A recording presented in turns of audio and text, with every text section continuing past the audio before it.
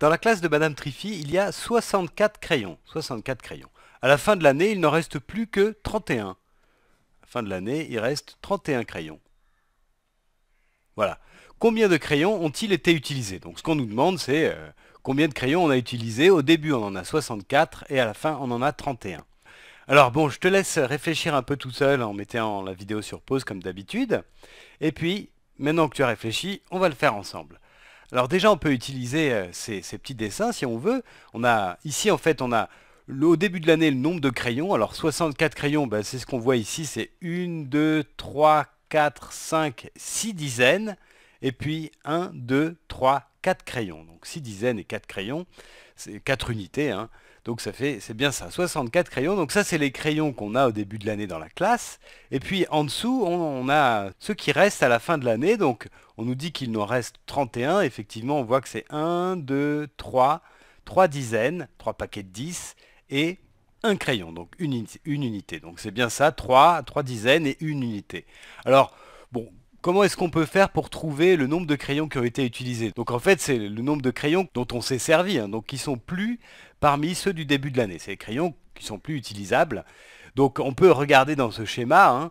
en fait, si on part de là, de nos 64 crayons qui sont dessinés ici, et qu'on veut arriver à ceux de la fin de l'année, donc aux 31 qui sont représentés ici, il faut déjà, là on a 6 dizaines, et il ne nous en reste plus que 3. Donc ce qu'il faut faire, c'est déjà supprimer 3 dizaines. Hein. Donc on va supprimer cette dizaine, cette dizaine et cette dizaine, par exemple ce paquet de 10, ce paquet de 10 et ce paquet de 10, là on a supprimé en tout 3 dizaines, donc 3 paquets, 3 boîtes de 10 crayons, hein, ça fait 3 dizaines. Voilà. Et puis on avait 4 crayons et il nous en reste plus qu'un. Donc ça, ça veut dire qu'on a enlevé 3 crayons, 3 unités. On a pris 3, on a utilisé 3 crayons, donc on va enlever ces 3 unités. Bon, par exemple, celle-là, celle-là et celle-là. Donc là, on a enlevé 3 unités. C'est 3 crayons, c'est 3 unités. Alors finalement, ben, on peut trouver la réponse comme ça, puisque ce qu'on a enlevé, c'est 3 dizaines et 3 unités. Alors 3 dizaines et 3 unités, en fait, c'est ce nombre qu'on écrit comme ça, 3, 3, donc c'est le nombre 33. Voilà. Donc, de cette manière-là, en utilisant ces représentations qui sont faites ici, eh on peut trouver la réponse à ce problème-là. Maintenant, on aurait pu aussi la trouver si on n'avait pas eu ces, dessins-là. Hein. Parce que ce qui se passe, c'est qu'on a au départ 64 crayons, on en utilise un certain nombre. Alors, je vais mettre déjà ça. On a nos 64 crayons. Et puis on en utilise un certain nombre. Ça veut dire que, en fait, ces, crayons-là, on les, enlève. Hein. On les enlève des, des crayons qui sont utilisables dans la classe. Donc, quand on enlève, ça veut dire qu'on soustrait.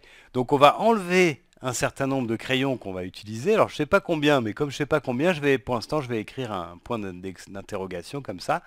Donc si je fais, je prends mes 64 crayons, j'enlève le nombre de crayons qui ont été utilisés, eh bien je, je dois trouver le nombre de crayons qui restent, c'est-à-dire 31. Voilà. Ça, c'est euh, vraiment une traduction de ce qui est dit ici.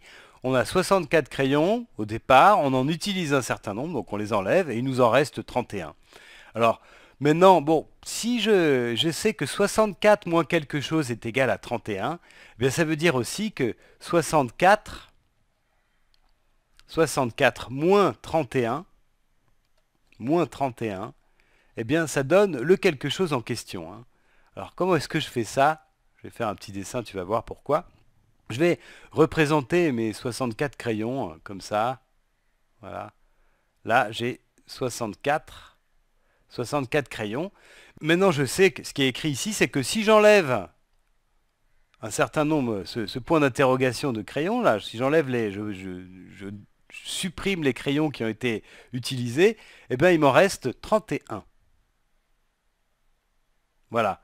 Donc ça veut dire que 31 plus le point d'interrogation, ça représente ces crayons-là plus ces crayons-là qui ont été utilisés, eh bien évidemment, je dois retrouver tous les crayons que j'avais au début de l'année. Hein. Ceux qui restent plus ceux que j'ai utilisés, c'est tous les crayons que j'avais au début de l'année. Mais je peux voir aussi comme ça, hein, si je prends les 64 crayons, donc c'est tous ceux-là que j'avais au début de l'année, et que j'enlève ceux qui restent, eh bien ça correspond en fait à tous ceux qui ont été utilisés. Hein. Voilà. Donc à ce nombre-là que j'ai représenté par un point d'interrogation. Voilà, donc ça j'espère que tu as bien compris. On part de cette écriture-là, 64 moins un point d'interrogation, moins le nombre de crayons utilisés, ça donne 31, c'est ce qui reste. Ça, ça veut dire que 64 moins 31, c'est égal, ça donne le nombre de crayons euh, qui ont été utilisés. Alors je vais faire cette opération-là, hein, du coup je peux la faire. 60, je vais la poser ici.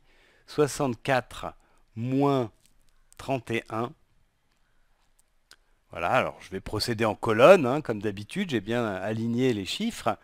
Donc, euh, je fais 4 moins 1, 4 moins 1, ça fait 3, voilà. Et puis 6 moins 3, ça fait 3.